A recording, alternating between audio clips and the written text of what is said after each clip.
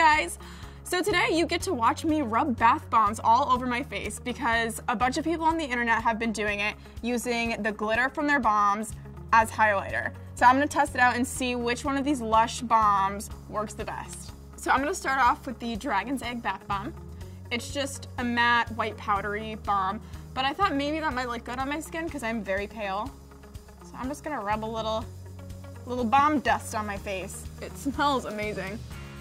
However, it doesn't work very well with a highlighter. Oh, I got it in my mouth. Eh, it tastes like soap. And I'm back. Yeah, it really doesn't, really doesn't look like anything.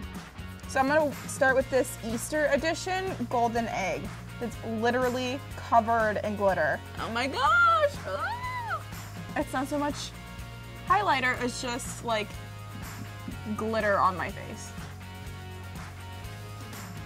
So it's really sparkly. I actually kind of like it. Obviously not for daytime, going about my daily life and walking through the grocery store, but this actually looks really cool. I feel like for like a music festival or something, it's like so Coachella. Now I'm gonna try the Sunnyside Bubble Bar. Um, the glitter is a little bit finer than the golden egg, so I think it will look more like a highlight and less like I dipped my face in a bowl full of glitter. It's not wanting to come on, so I'm just gonna like rub it on me. But now I think I have like soap on me. oh, it's crusty. The soap crust is getting on me. But it looks, it's nice. I like this one better. So now I'm gonna finish with the Milky Bath Bubble Bar. It's got some nice silver glitter at the top.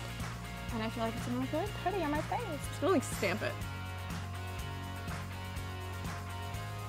Ooh. Uh, this one is much more highlighter-y than the other two were. So my favorite by far is definitely the Milky Bubble Bar. It just made a nice shimmer. Um, it wasn't like raw glitter on my face. And I mean, come on.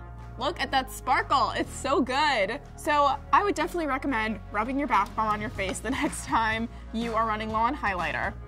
Or if you just need an extra bit of shimmer and I will see you guys next time.